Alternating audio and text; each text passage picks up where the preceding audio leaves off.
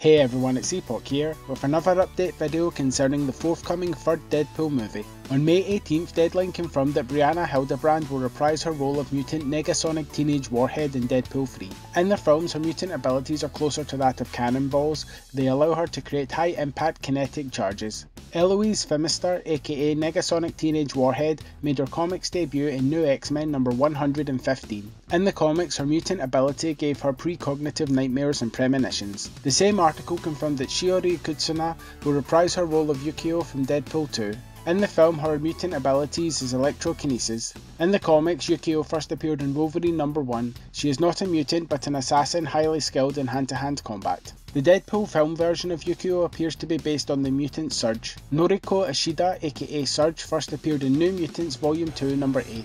She is a mutant whose ability is electrokinesis, which allows her to manipulate electricity. Deadpool 3 is currently set to release in cinemas worldwide on November 8, 2024. So let me know in the comments below, you excited to see Brianna Hildebrand and Shiori Kutsuna return as Negasonic Teenage Warhead and Yukio respectively, and will you be checking out Deadpool 3 when it releases? If you enjoyed this video then please hit that like and subscribe button and don't forget to share it with your fellow comic book fans. Thanks for watching.